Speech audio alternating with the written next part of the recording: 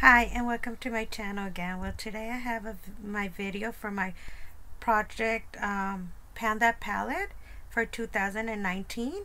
I know everybody has different palettes. Uh, I know that some of them are even doing a collab with a certain palette but uh, I'm just going to do an old one and a new one.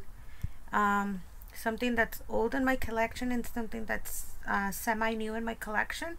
Uh, and so I'm going to show you. The first one is by Milani and it's Runway Eyes and in the and the color is 5 no, 05 Glamorous uh, Games.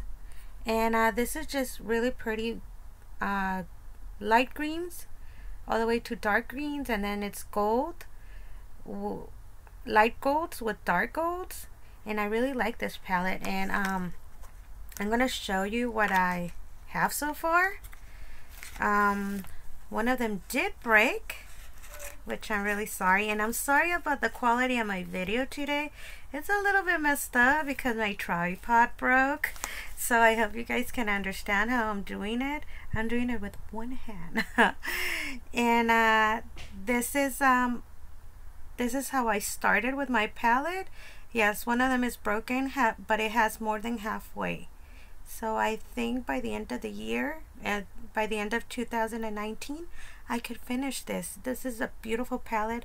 I love it. I know it's really old, but I just barely started using it. So I don't think it's bad. the next one is my palette by Tarte. And it's this one. Uh, I don't know the name of, of, of it, but I will show you what I have. I'm really sorry about the quality. I know it's not the best quality, but um, I'm trying to do this before uh, everybody starts and then uh, my video will get lost in the crowd. yeah, uh, okay, let me see. I'm trying to open it with one hand, so it's very hard. Okay. And I just messed up one. And uh, this is what I have so far.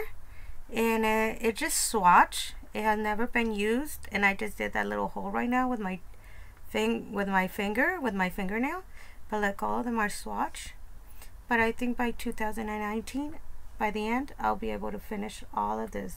Look how pretty they are.